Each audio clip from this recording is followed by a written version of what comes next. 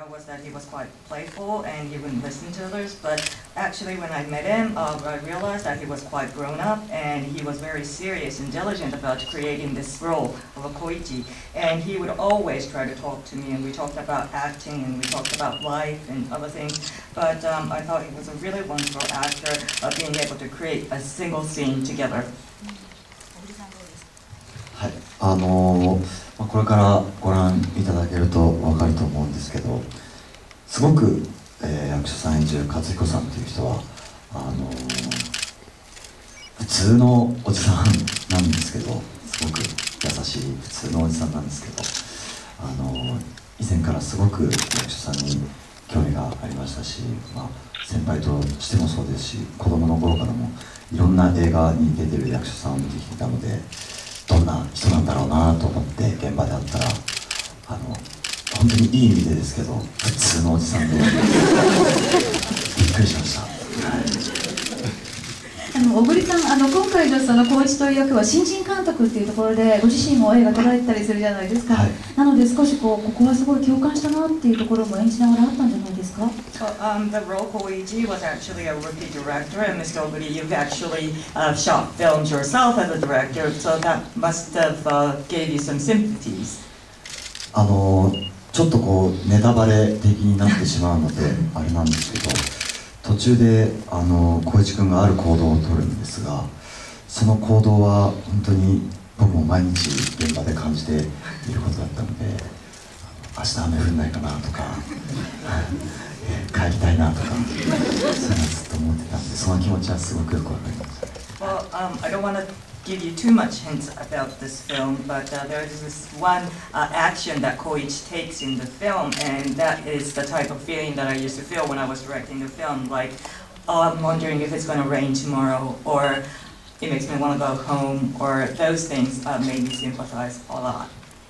役所さんはあの木こりの役だったわけですけども、そう山の中にずっといてこう、はい木こりを演じるっていうところで何かこうご自分の中で今回の役で ここ面白かったなっていうところってありましたか Mr. Yakusho, you played the role of a lumberjack and you were in the forest all the time, but was there anything particularly interesting about that role?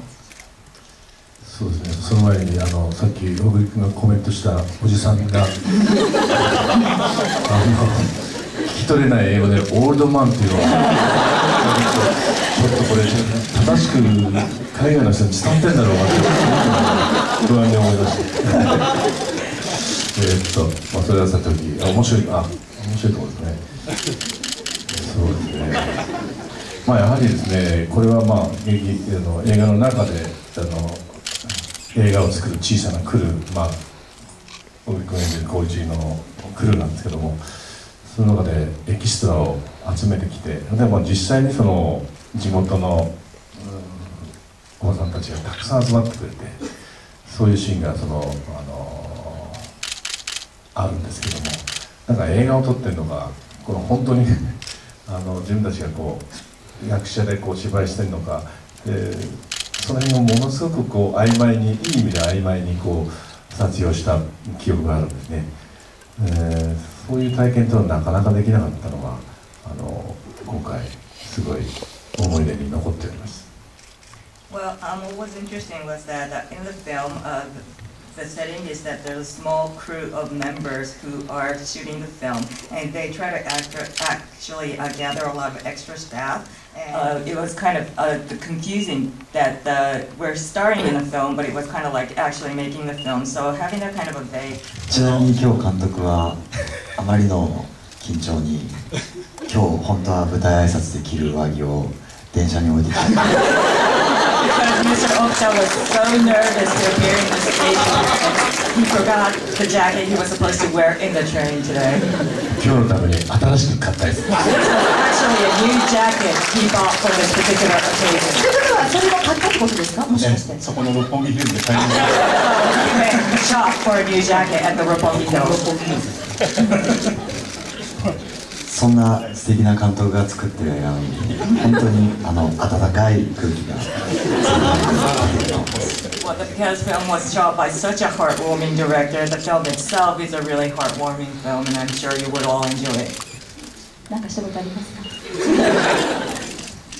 頑張って作りました。